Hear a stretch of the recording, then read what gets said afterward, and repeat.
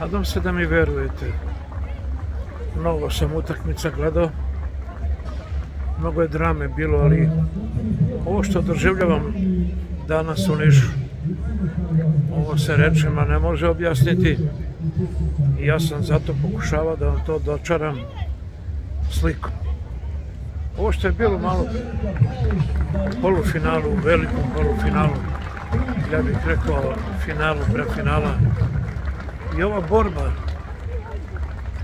momaka koji su branili boje pirota, to nisam vidio. Nisam vidio jer sam ih pre ove utakmice sa njima razgovarao. Dule mi u jednom trenutku rekao čekaj da uzmem vazduh, ne mogu da govorim. Ako se sjećate, ako ste gledali film Konje ubijaju, zar ne? E to je to.